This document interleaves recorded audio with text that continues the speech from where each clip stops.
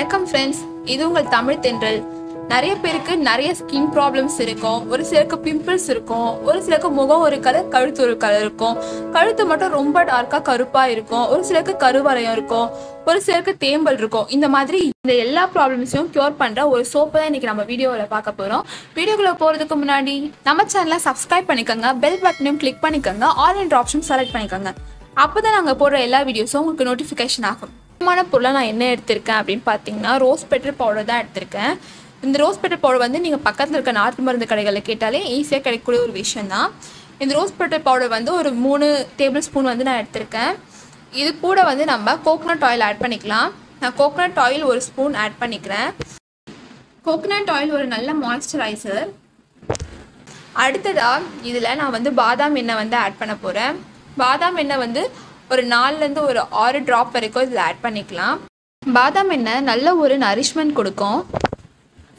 அடுத்ததாக இதில் வந்து நான் என்ன ஆட் பண்ண போகிறேன்னு பார்த்தீங்கன்னா அலோவேரா ஜெல் தான் ஆட் பண்ண போகிறேன் எங்ககிட்ட அலோவேரா ஜெல் இருக்கிறதுனால நான் வந்து அலோவேரா ஜெல் ஆட் பண்ணிக்கிறேன். உங்ககிட்ட ஃப்ரெஷ் அலோவேரா ஜெல் இருந்தாலும் நீங்கள் வந்து ஆட் பண்ணிக்கோங்க. Aloe vera gel spoon add பண்ணிக்கிறேன். நெக்ஸ்ட் வந்து சாண்டில்வுட் ஆயில் தான் நம்ம ஆட் பண்ண போகிறோம் இந்த சாண்டல்வுட் எசென்ஷியல் ஆயில் வந்து ஒரு ஃப்ரேக்ரன்ஸ்க்காக தான் ஆட் பண்ணுறோம் உங்ககிட்ட வேறு எந்த எசென்ஷியல் ஆயில் இருந்தாலும் நீங்கள் அதை யூஸ் பண்ணிக்கலாம். ஆட் பண்ணிவிட்டு நல்லா மிக்ஸ் பண்ணிக்கோங்க.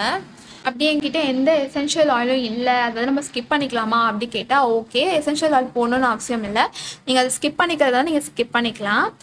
அடுத்ததாக நம்ம வந்து சோப் பேஸ் பார்க்கலாம். இது வந்து ஷியா பட்டர் சோப் பேஸ்னு நாங்கள் ஆன்லைனில் ஆர்டர் பண்ணி வாங்கினது. நீங்கள் ஷியா பட்டர் சோப் பேஸ் தான் யூஸ் பண்ணணுமான்னு கேட்டால் இல்லை. உங்ககிட்ட கிளிசரின் சோப் பேஸ் இருக்குன்னா நீங்கள் அதையும் யூஸ் பண்ணிக்கலாம். அப்படி ரெண்டுமே இல்லைனா நீங்கள் டவ் சோப் கூட யூஸ் பண்ணிக்கலாம். டவ் சோப் ரொம்ப அஃபோர்டபுள் தான். பக்கத்தில் இருக்க கடைகள்லேயே கிடைக்கும் இந்த சோப் பேஸை ஒரு சின்ன சின்ன பீசஸாக கட் பண்ணி டபுள் பாயிலிங் மெத்தடில் வந்து இதை மெல்ட் பண்ணிக்க போகிறோம் டபுள் பாயிலிங் மெத்தட்னா ஒன்றும் இல்லை ஃப்ரெண்ட்ஸ் ஒரு பாத்திரத்தில் தண்ணி வச்சுட்டு அது மேலே இன்னொரு பாத்திரம் வச்சு அதில் வந்து இந்த சோப் பேஸை போட்டு மெல்ட் பண்ணிக்க போகிறோம் இப்போ வந்து வச்சாச்சு. இதை போட் அந்த பாத்திரத்தில் அந்த சோப் போட்டு நல்லா மிக்ஸ் பண்ணிகிட்டே இருங்க. அது நல்லா மெல்ட் ஆகி வரும். ஒரு வாட்டர் கன்சிஸ்டன்சிக்கு நல்லா மெல்ட் ஆகி வரும். அதுக்கு மிக்ஸ் பண்ணிவிட்டு நம்ம மிக்ஸ் பண்ணி வச்சுருக்க அந்த ரோஸ் பெட்டல் பவுடர் வந்து இதில் ஆட் பண்ணிக்கோங்க ஃப்ரெண்ட்ஸ் இதில் ஆட் பண்ணிவிட்டு அதையும் நல்லா மிக்ஸ் பண்ணிக்கோங்க. அந்த சோபேஸும் அந்த ரோஸ் பெட்டல் பவுடரும் நல்லா மிக்ஸ் ஆகிற அளவுக்கு நல்லா ஆட் பண்ணிக்கோங்க. நான் திட்டு திட்ட தெரியாத அளவுக்கு நல்லா கலந்து விட்டுருங்க. நம்ம வந்து ஏன் இந்த சோப்பில் ரோஸ் பெட்டல் பவுடர் வந்து யூஸ் பண்ணியிருக்கோன்னா ஒரு சிலருக்கு வந்து இந்த சன்லேருந்து வர யூவி ரேஸ்னாலே ஆகாது. ரோஸ் பெட்டலில் இருக்க அந்த ஆன்டி இன்ஃப்ளமேட்ரி ப்ராப்பர்ட்டி வந்து அந்த யூவி ரேஸ் ஒத்துக்காத வர அந்த அலர்ஜி எல்லாம் கட்டாயமாக முழுமையாக வந்து க்யூர் பண்ணும். அதே மாதிரி ரோஸ் பெட்டல் பவுடர்ஸ் நம்ம ஃபேஸை நல்லா மாய்ஸ்சர் பண்ணி கொடுக்கும். அதில் அதில் இருக்க ஆன்டி ஆக்சிடென்ட் வந்து ஸ்கின் இரிட்டன்ஸ்லாம் இல்லாமல் பார்த்துக்கும் கலந்து விட்டது நல்லா மிக்ஸ் ஆனதுக்கப்புறமா அதை எடுத்து நான் வந்து இப்போ சின்ன ஒரு பவுல் தான் யூஸ் பண்ண போகிறேன் உங்ககிட்ட சோப் மோட்டர் இருக்குது அப்படின்னா நீங்கள் சோப் மோட்டர் கூட யூஸ் பண்ணிக்கலாம். நீங்கள் எதில் வந்து ஊற்றுறதுக்கு முன்னாடியும் அதில் வந்து ஒரு வேக்சின் பெட்ரோலியம் ஜெல்லியோ அல்லது ஒரு கோகோனட் ஆயிலோ லைட்டாக வந்து அந்த பவுலில் அப்ளை பண்ணிவிடுங்க அப்ளை பண்ணிவிட்டு நம்ம மிக்ஸ் நம்ம மிக்ஸ் பண்ணி வச்சுருக்க அந்த சோப் பேஸை வந்து எடுத்து அதை ஊற்றிடுங்க ஊற்றிட்டு அது செட் ஆகிறதுக்கு வந்து ஒரு two to four hours fridge ஃப்ரீசரில் வச்சுருங்க. இப்போ பாருங்கள் சோப் நல்லா செட் ஆகிருக்கு இந்த சோப் வந்து நீங்கள் ரெகுலர் பாத்திங் சோப்பாக யூஸ் பண்ணிக்கலாம். இதில் எந்த ஒரு சைடு எஃபெக்ட்ஸும் இருக்காது.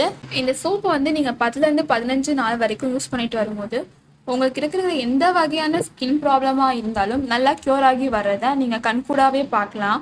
பிம்பிள்ஸ் ஆகட்டும் டாக் ஸ்பாட்ஸ் ஆகட்டும் கரு வளையும் அப்புறம் வந்து ஒரு சிலருக்கு தேம்பல் இருக்கும். நிறைய பேருக்கு வந்து ஸ்கின் அலர்ஜிஸ் இந்த ஃபேஸே அங்கங்கே அப்படி திட்டு திட்டா ரவுண்ட் ரவுண்டாக படர் தாமரை மாதிரி இருக்கும். அது எல்லாமே நல்லாவே க்யூர் ஆகி வரும். ரோஸ் பெடல் பவுடர்ஸ் இருக்கா? அந்த விட்டமின் சியும் ஆன்டி ஆக்சிடென்ட்டும் நம்ம ஸ்கின் கலரை ரொம்பவே லைட்டன் பண்ணி கொடுக்கும்.